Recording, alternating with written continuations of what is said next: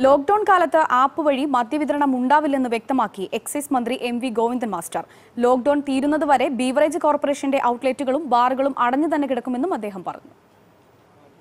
Lockdown തീരുന്നതുവരെ സംസ്ഥാനത്തെ മദ്യശാലകൾ അടഞ്ഞു തന്നെ കിടക്കുമെന്ന് എക്സൈസ് മന്ത്രി M V Govindan master.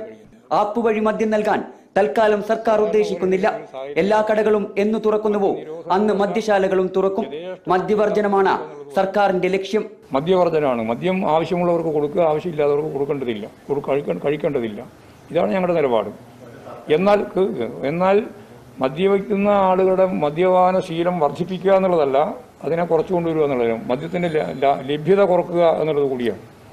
അതുകൊണ്ടാണ് വീട്ടിലേക്കൊക്കെ ഭക്ഷണം ഈ ഇത് കൊടുക്കണം. എന്ന് പറയുന്ന നിലപാടിനോട് ഇടതുപക്ഷ ജനാധിപത്യ മുന്നണിക്ക് യോജിപ്പില്ലാതിരുന്നത്.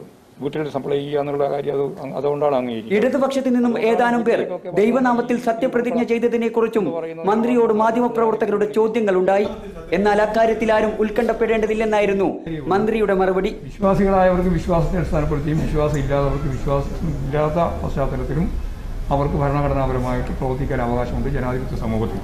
അതിൽ ആർക്കും ഉത്കണ്ഠ ഉണ്ടാവേണ്ട കാര്യമില്ല. ശരിയായ രീതിയിലുള്ള നിലപാട് സ്വീകരിച്ച് പോവുക എന്നുള്ളതാണ് ഇപ്പോൾ അംഗീകരിച്ച സമീപനം. അതിൽ ഒരു പ്രശ്നവും ഇല്ല. ഭരണഘടനാപരമാണ്.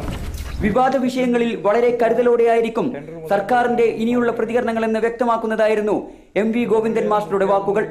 റിപ്പോർട്ടർ കണ്ണൂർ.